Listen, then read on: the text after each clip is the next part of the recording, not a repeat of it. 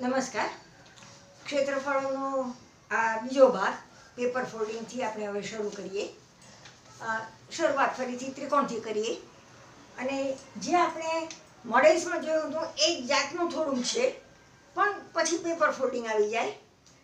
એક વસ્તુ એ છે કે આપણે આમાં હું એ દોરતી દઈશ એટલે ભેગા ભેગું આપણે આ જોઈ લેવાય.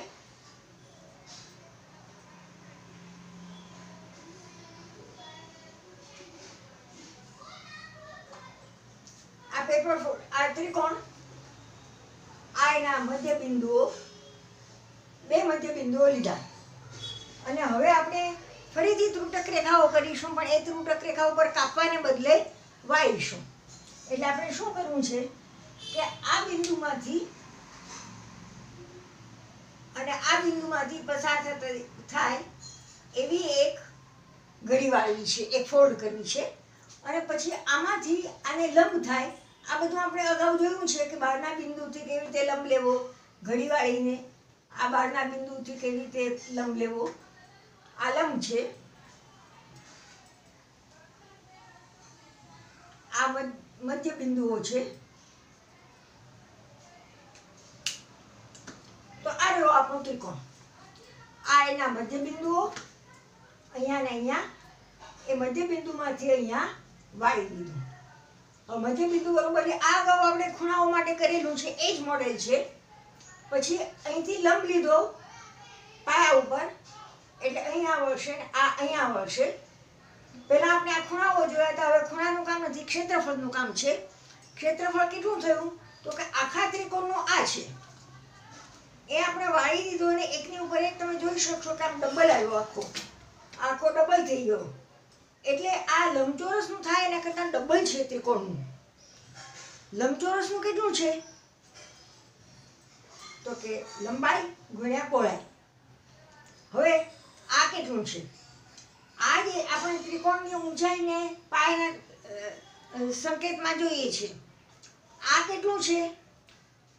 તો કે આખી ઊંચાઈ હતી એનું અડધું. એટલે આ વન હાફ એચ આ કેટલું? તો કે આની જેટલું આ આ કેટલું છે મધ્ય બિંદુઓને જોડતો રેખાખંડ એટલે પાયા કરતાં અડધો. એટલે આ થઈ ગયું આ વન હાફ પાયા કરતાં અડધો એટલે one half B one half H એટલે કેટલું થયું? આપણે મેળવ્યું ત્યારે one half B into one half H આ તો લોચો પડી ગયો. લોચો નથી પડ્યો. શું રહી ગયું હજી? કે ત્રિકોણનું ક્ષેત્રફળ આ લંબચોરસ કરતાં ડબલ છે. આ તો લંબચોરસ શું થયું? તો ત્રિકોણનું ક્ષેત્રફળ એ આ લંબચોરસના ક્ષેત્રફળ કરતાં ડબલ છે. અને હવે તમે જુઓ કે એક ટુ કેન્સલ થઈ જાય ને વન હાફ બી એચ રહી જાય. સમાંતર બાજુ ચતુષ્કોણ. આ સમાંતર બાજુ ચતુષ્કોણ.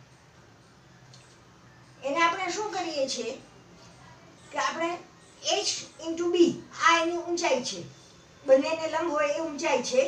એ ઊંચાઈ ગુણ્યા પાયો. એટલો જવાબ આપણો આવવો જોઈએ. ચકાસીએ ત્યારે.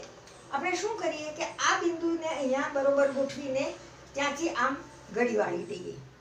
હવે બાકી જે રહ્યું, એ અહીંયા આ લંબ ઘડી વાળી દઈએ. એટલે મળી ગયો લંબચોરસ. હવે આ જે લંબચોરસ મળ્યો આમાં આપણે જોઈ લઈએ કે આપણે શું કર્યું? આમાં છે એવું જ દોરું એટલે ખ્યાલ આવે જોયું ત્યારે.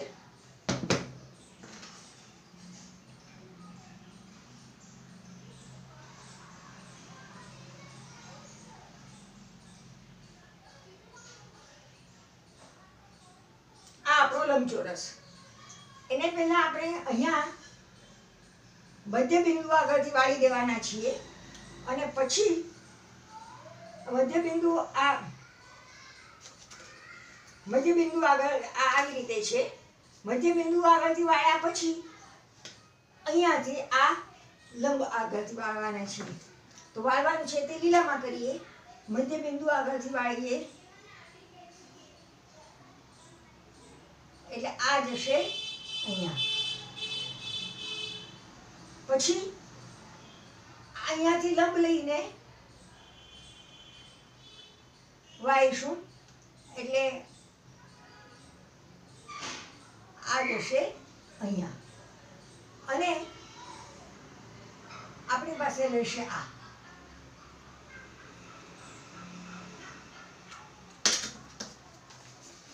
આ લીધું પેલા આ વાળ્યું એટલે આ અહીંયા આવી ગયું અને આ રહ્યું આપણી પાસે. અથવા તો જે રહ્યું એને આપણે જુદો કલર બતાવીએ. આ રહી આ લાઈન. નવી લાઈન છે. અને પછી અહીંયાથી આ લાઈન રહી. એ છેવટે શું રહ્યું? તો કે આ લંબચોરસ આ જે છે એ ફોલ્ડ કરેલો ભાગ છે. આ છે તે આનો ફોલ્ડ કરેલો ભાગ છે. આ અહીંયા આવી ગયો. આ અહીંયા આવી ગયો. પણ હવે આપણને તો લંબચોરસ નહીં સમાંતર બાજુનું ચતુર્ભુજ જોઈએ છે. એક વસ્તુ તો ક્લિયર છે કે આ જે છે એ સમાંતર બાજુ ચતુષ્કોણની ઊંચાઈ છે. એટલે ઊંચાઈ તો સીધી આવી જ ગઈ. હવે લંબચોરસની આ જે પહોળાઈ છે એ કેટલી છે? તો કે આપણે આમ ડબલ કર્યું હતું. એટલે પાયા કરતાં અડધી. એટલે one half B H one half B H પાછું વળી પાછું શું થયું? તો કે કંઈ નહીં. આખું ક્ષેત્રફળ આ લંબચોરસનું ડબલ છે. એટલે વન હાફ બી ડબલ કરો એટલે પાયો ગુણ્યા ઊંચાઈ બી ઇન્ટુ એચ હવે આ સમલંબક. બધામાં લગભગ એક સરખું છે. અહીંયા ફરીથી બે મધ્યબિંદુ લીધા. મધ્યબિંદુ ઉપરથી વાળી દીધું. પછી આ મધ્યબિંદુ આગળથી અહીંયા વાળ્યું ત્રિકોણીમાં ફગજ અહીંયા વાળ્યું અને લંબચોરસ મળ્યું. એ દોરી લઈએ.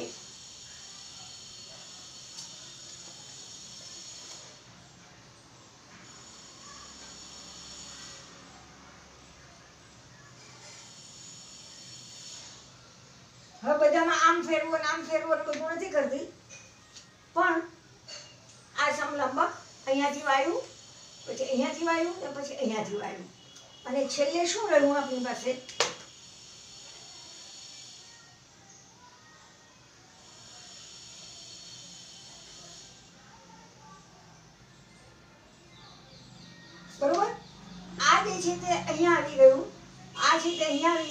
છે તે આવી ગયું. એટલે આ લંબચોરસ બન્યો.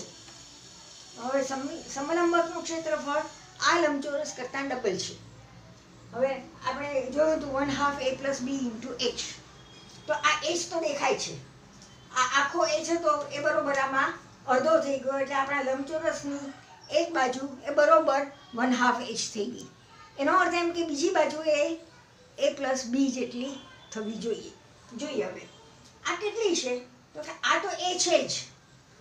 અને આ આખું આમ ડબલ છે. એટલે ખરેખર તો આ આખું છે, આ આમ છે. એટલે આ એ અને બી છે, એટલે એ પ્લસ બી છે, આ આખો છે તે નીચેનો છે તે આખો આમ સળંગ લઈએ તો એ, પછી અહીંથી કરીને આમ બી, એટલે એ પ્લસ બી છે. એટલે આ તેનું અડધું થયું. એટલે one half a plus b. One half a plus b અને આ જે છે,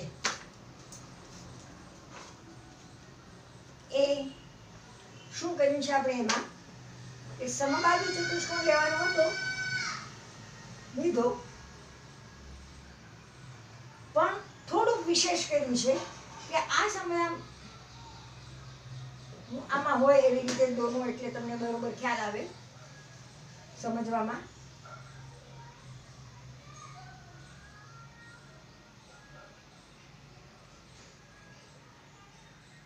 આ સમલમ સંબાજુ ચતુષ્કોણ લીધો હવે શું કર્યું છે? કે અહીંયા ફરીથી મારે દોરવું પડશે. કે મેં આ ખૂણો ઉપર લીધો છે ને હું આ ઉપર લઉં છું.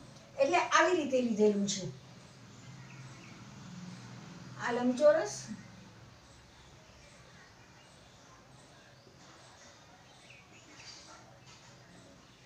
અને આપણો સંબાજુ ચતુષ્કોણ આ છે. આ આપણો સંબાજુ ચતુષ્કોણ છે. અને એના એક વિકર્ણને સમાંતર બે રેખાઓ, બીજા વિકર્ણને સમાંતર બે રેખાઓ, એમ લઈને આપણે લંબચોરસ બનાવ્યું છે. પછી શું કર્યું કે આની અંદર આ પહેલાં તો આનાથી વાળી દીધું.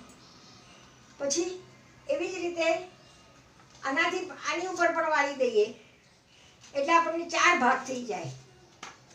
હવે આ દરેક ભાગને પાછો આપણે આ વિકર્ણ આગળ વાળવાનો પ્રયત્ન વાળીએ તે પહેલાં જોઈ લઈએ કે વિકર્ણ આગળ આ બે ભાગ એકરૂપ થશે ત્રિકોણ. એવી જ રીતે અહીંયા બે અહીંયા બે ને અહીંયા બે. એટલે કુલ શું થયું?